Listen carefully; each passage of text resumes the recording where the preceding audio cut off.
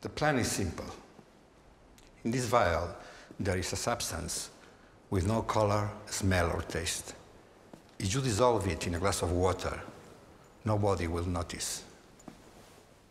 You'll give it to Zsolt to drink it, and he will feel sick. Then you call for an ambulance, and he will be taken to the hospital. The vial takes effect within half an hour.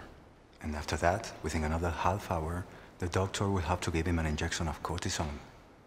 Otherwise, he will die. Any ambulance has cortisone.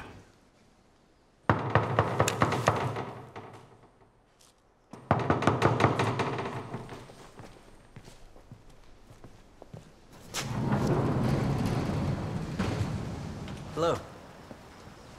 Hello. Buenas tardes. Buenas tardes. I'm a filmmaker, and I'm scouting locations for my next project. I love the look of this factory from the outside, but is it possible, do you mind if I check it out from the inside too? Yeah, why not? Come in.